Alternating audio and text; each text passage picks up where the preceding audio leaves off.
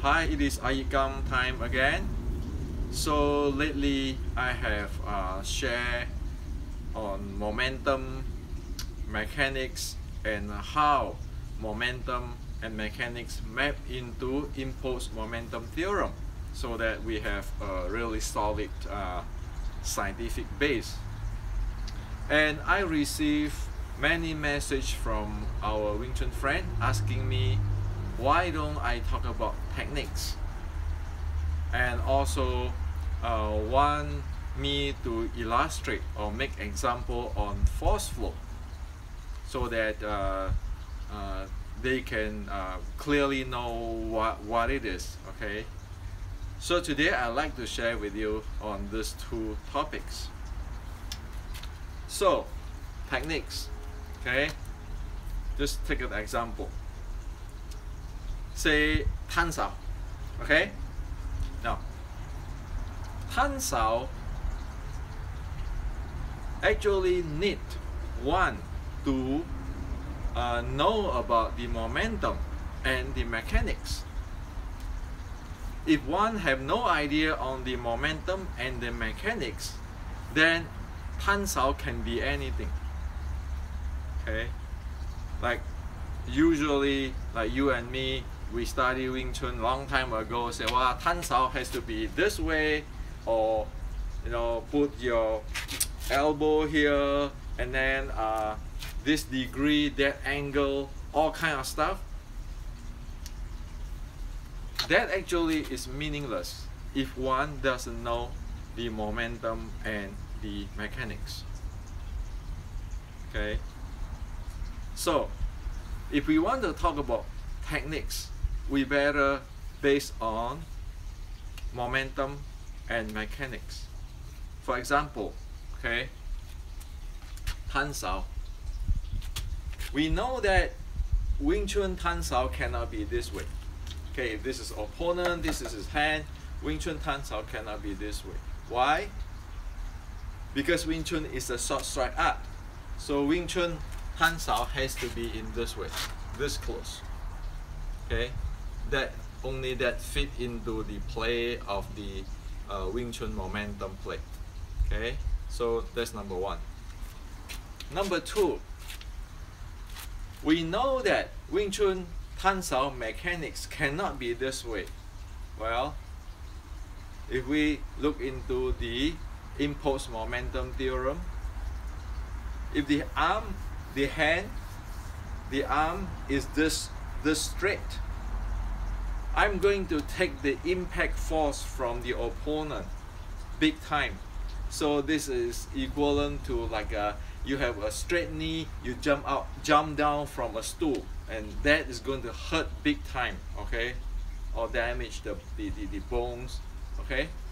So you know that impulse momentum theorem, this doesn't work, okay? And then based on mechanical advantage okay? I have a difficult times if I have this long sao here okay? Stretch out sao here to uh, exert force to the opponent. So if I do this first in terms of impulse momentum theorem this makes sense. It cut down or it reduce the impact force toward me is like when you jump down from a stool to the ground with a bent knee okay? Now the second thing is because there's a mechanical advantage here. So I can exert a lot of force to my opponent. Where here I can use all the force but I have a mechanical disadvantage okay? So from the uh, momentum characteristics and from the mechanics which is this both based on physics we know they accord. Tan Sao has to be uh, the, the, the, uh, the, the techniques of the Tan Sao has to be performed in here and with this kinds of uh, uh, uh, uh momentum and mechanical criteria okay So it's really engineering that Tan Sao has to be here. That is the technique. So there's no more argument that well Tan Sao this way, uh, I have to put it in the center line or not center line. Well, you all miss the point because it doesn't fit whatever we can argue here, whatever the opinion, it doesn't fit the characteristic of Wing Chun. It doesn't fit the impulse momentum theorem. It doesn't fit the uh, mechanical advantage. Okay, and over here, the Tan Sao over here, well, about the angle, it can vary because thing will be varying in the real life. Okay, you, you cannot have a certain angle, okay, which is actually it uh, doesn't make much sense. What it really, uh, the root, the, the, the important key is it has to meet the uh, momentum characteristic requirement and the law of physics, which is the mechanics. Okay. So that is Tan Sao. So Tan Sao it can be it can be very as soon as it is close and that's perfectly well. Because in real life and Tan Sao might not even have to touch the opponent because this is like a seal going in. That's Wing Chun. So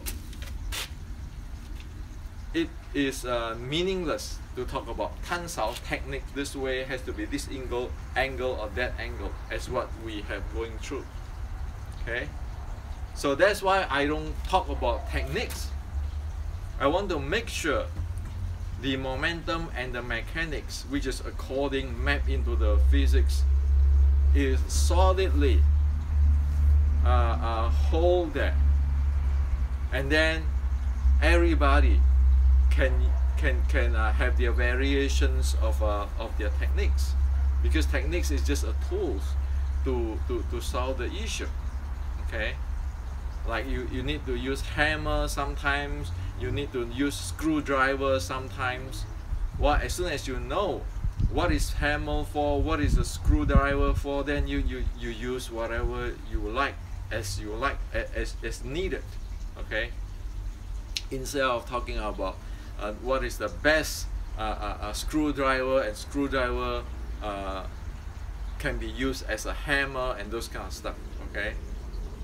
So we need all these tools like the uh, momentum and the mechanical uh, the mechanics which is fit on to the uh, law of physics. They are tools tools for analyze tools for uh, let us know what is proper without opinion or philosophy because we need to meet this uh, the law of physics criteria before before we can say oh we have to uh, we can have this variations that variations if we do not meet the uh, or satisfy the law of physics forget about it okay so that is for the techniques part so as soon as we know this momentum and the mechanics then techniques we know what is the proper one. That's why I don't want to talk about techniques. You can invent your techniques. And in a real fight, you know, will the Tan Sao really touch? You don't know. But you know the Tan Sao will be in this close. Will they really touch the opponent's arm? We don't know. It's based on the situation at that time. Okay? Now, as for force flow, force flow is just a play of action and reaction force have no mysterious thing at all. It's no this chi, no this mind power at all. Okay, it's plain mechanics, plain mechanical handling, and plain the uh, the the handling or manipulations of action and reaction force. For example, let's talk about this Tan Sao. Now, Tan Sao. If I just move my arm See, I just move my arm, body is not moving. I use force with my arm.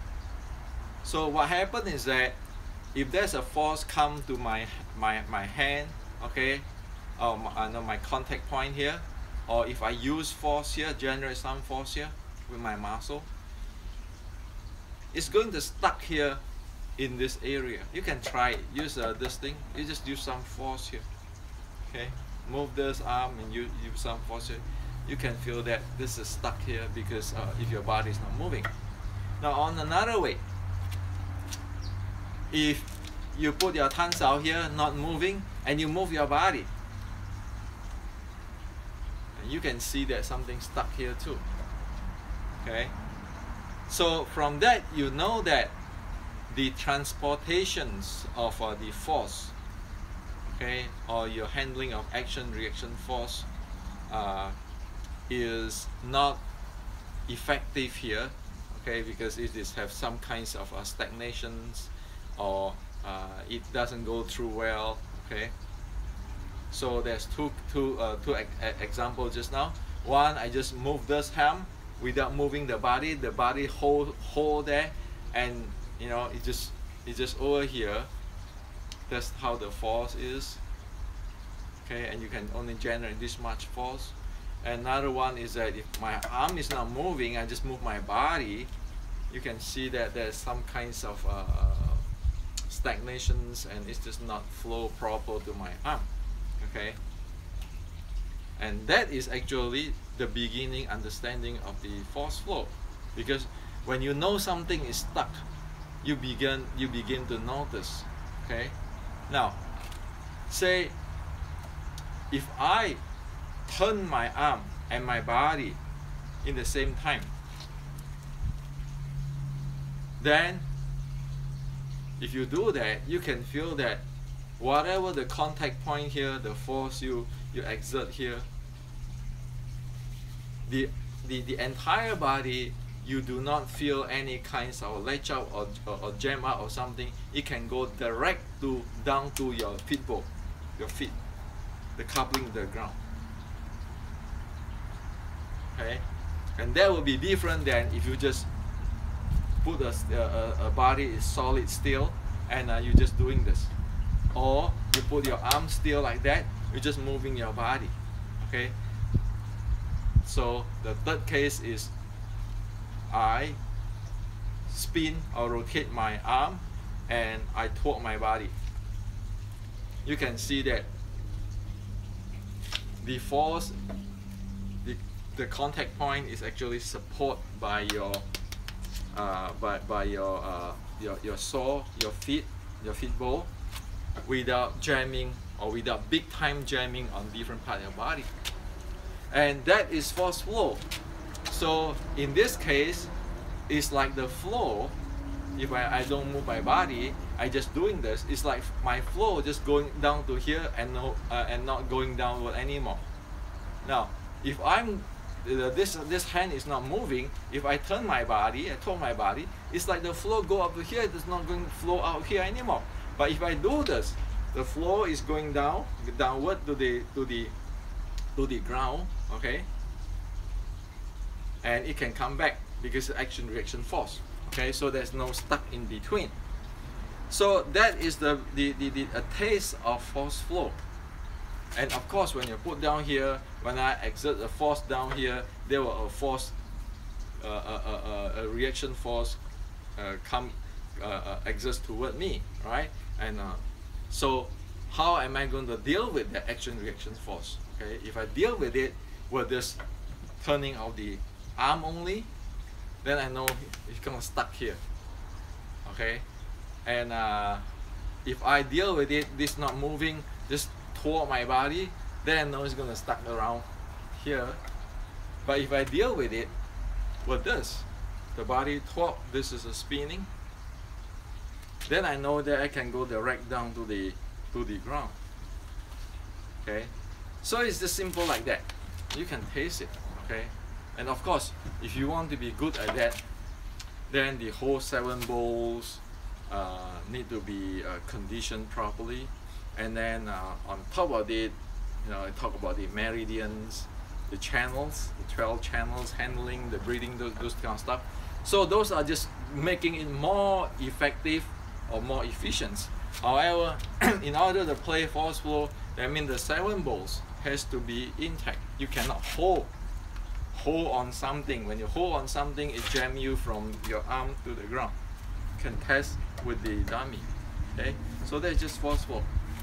So this is for you today and uh, you can see that right now I give you guys a tools. The momentum the mechanics which you can map into the uh, law of physics. And then if you want to get into more details on the body that's the 613.3 okay? So in all these books I wrote is there and uh, this is as what I say again and again this is an education so everybody can do it. Okay there's no guru there's no uh, grandmaster but education there. So everybody know exactly what it is everybody can do it. Okay? Some might be better than other but that's fine. But at least everybody can do it. Okay